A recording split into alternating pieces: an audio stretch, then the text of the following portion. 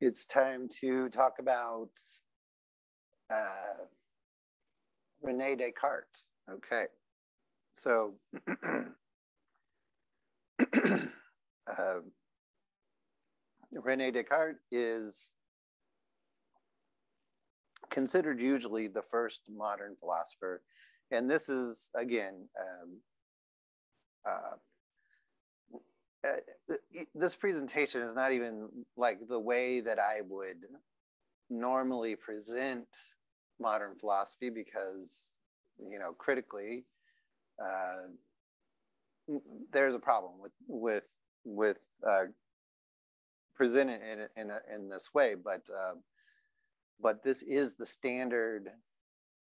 I mean, I'm still not going to give you a really standard version, uh, but um, in my normal treatment of modern philosophy, I de-emphasize Descartes quite a bit uh, and emphasize uh, some things in David Hume and Kant uh, and Hegel, but I'm going to try to wrap in the Hegel stuff um, and connect that to Descartes.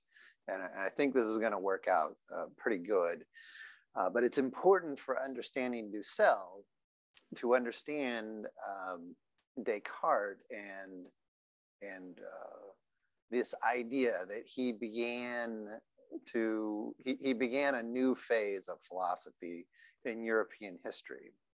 And then Dussel is going to argue against this. Okay, so uh, I will do my best to uh, kind of inform the, the reading of Dussel. So Rene Descartes, um,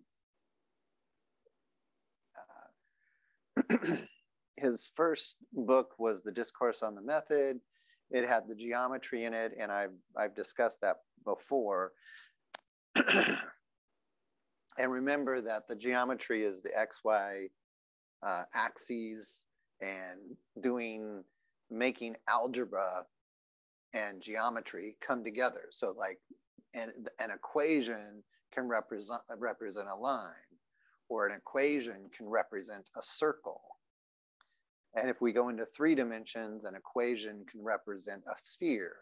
And, uh, you know, we can combine these things in lots of different ways. and that's going to be very significant. Um, excuse me, for understanding um, the the kind of one of the typical like pop culture kind of analogies that comes up quite naturally here. okay. So um, the geometry. Keep that in your mind, and, and I'm going to reference that here. Um,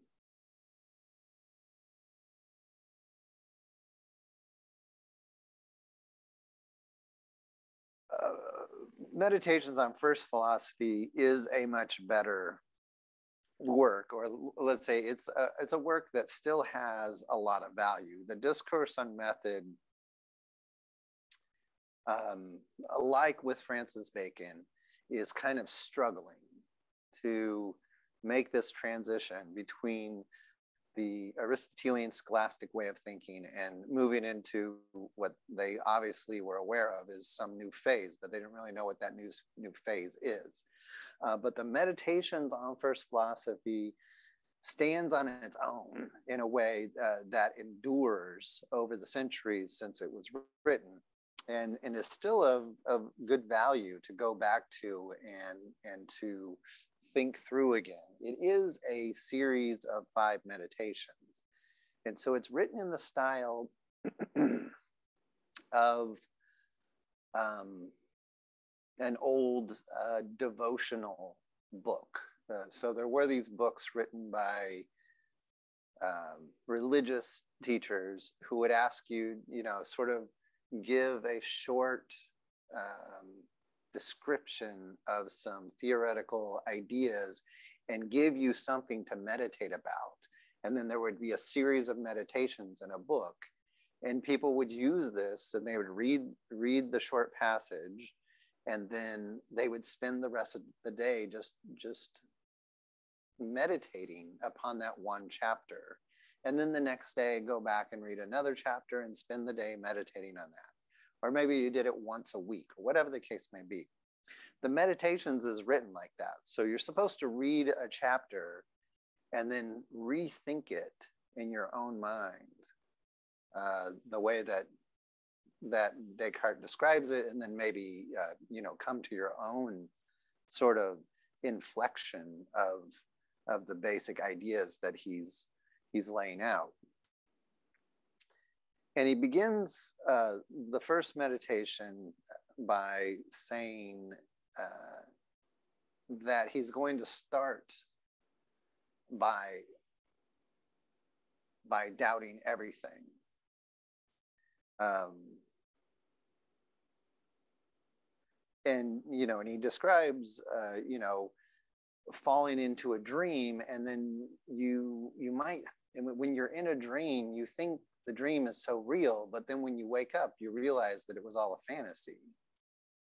And so, what he gathers from this is that as we look around, like right now for you, as you're watching this video and you're staring into your screen, and the experience has all the all the signs all the indications of being a real waking experience but what if you are dreaming this right this very moment how do you know that this is not a dream what tells you that it isn't a dream? And uh, especially the way that Descartes describes it, there's really nothing to tell you that it isn't a dream. You very well could be dreaming. You could be dreaming uh, that you are, you know, taking college classes and have this course in cultural diversity and you have to watch this video and you're wondering what the point is here. Um, but maybe that's all a dream. Maybe it's much later in your life and you're just dreaming of being the age that you are now and being back in, in college. Um, but you're really later on in your life and you're just having a dream of reminiscence. How could you tell the difference? So what this introduces uh, for Descartes, at least, is, is a state of radical doubt. And so he wants to doubt everything and not take anything for granted, not make any assumptions, and then find out what really can he know without making any assumptions. Uh, and what he starts with is what we call the cogito, ego cogito. And, and, and he wrote this in Latin.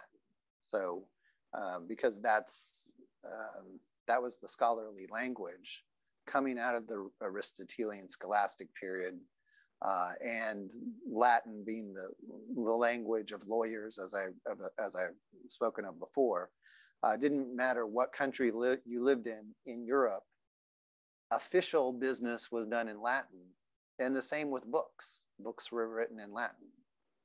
So he's writing this in Latin, and um, and that's where ego cogito comes from, which means I am thinking. So he starts with I am thinking. Because even if he is dreaming, uh, he knows that he is thinking.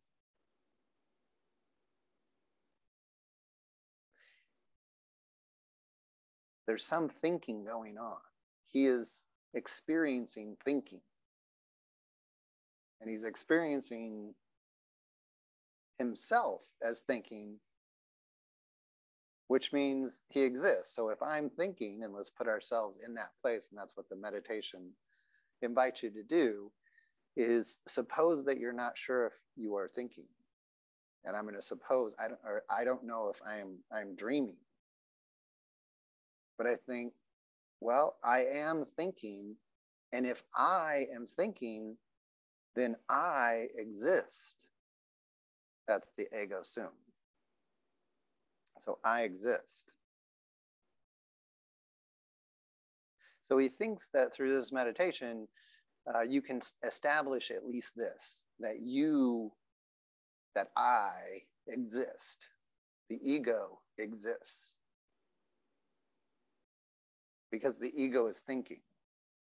So, at the bare minimum, the I, the ego, is a thinking thing and he wants to say a thinking substance like in this aristotelian way that i that i went through aristotelianism um, before so he wants to say that the ego is a thinking substance at bare minimum. Okay so um, so that's something to think about. What do you think? Does that really work? Does that get you out of a situation where you seriously consider that you might be dreaming? Does that really convince you that you exist? Because maybe it's just merely a dream and it's just all ephemeral and you don't even exist. I mean, that's what he wants to get to is that kind of radical doubt. Um, all right, so so so let's think about that and then I'll, I'll start a new video to carry on from there.